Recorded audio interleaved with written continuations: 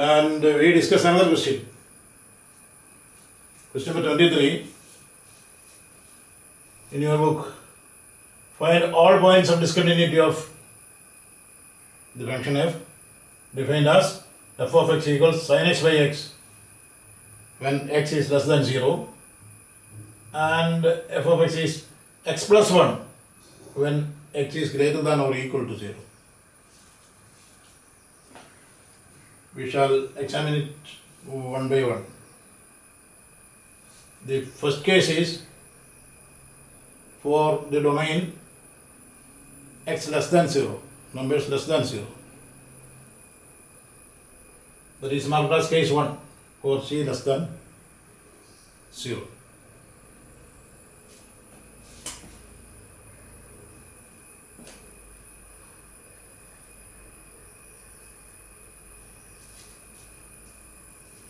We shall take a number c as x.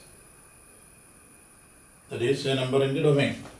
Limit x tends to c f of x is equal to limit x tends to c sin x by x.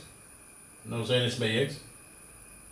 That is sin c by c.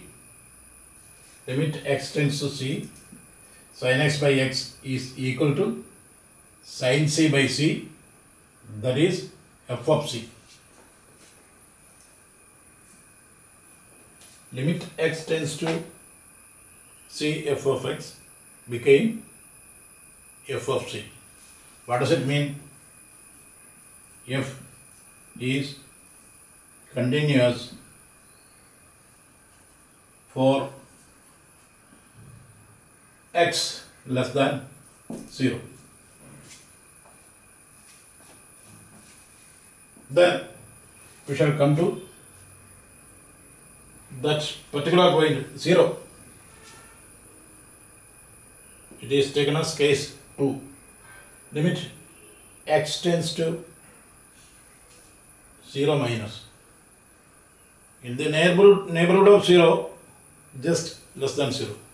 That is limit x tends to 0 minus sin x by x. That's equal to 1. How? In the 11th standard, we have studied it. Limit x tends to 0. Sin x by, by x is equal to 1. That is an identity. See. And we have proved it also. Now, the other case. When we take the limit from the right of 0, that is limit x tends to 0 plus f of x is equal to limit x tends to 0 plus. 0 plus not here but here the y is given as x plus 1 for values greater than 0 so it is x tends to 0 x plus 1 that is 0 plus 1 is equal to 1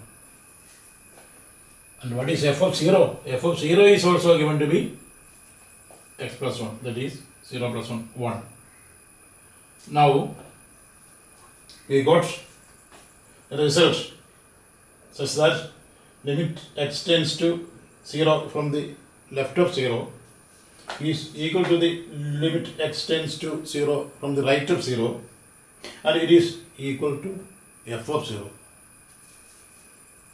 what does it mean? At that particular value 0 if the function is continuous.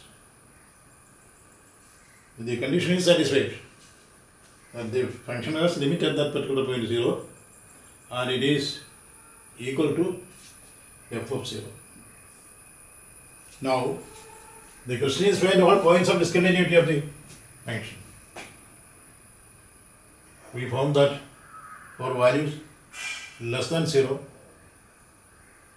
and greater than 0, the function is continuous and it is continuous at uh, the point 0 also.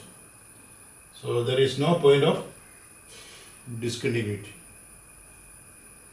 Here for values x less than 0, this is the function. And for values x greater than 0, this is the function.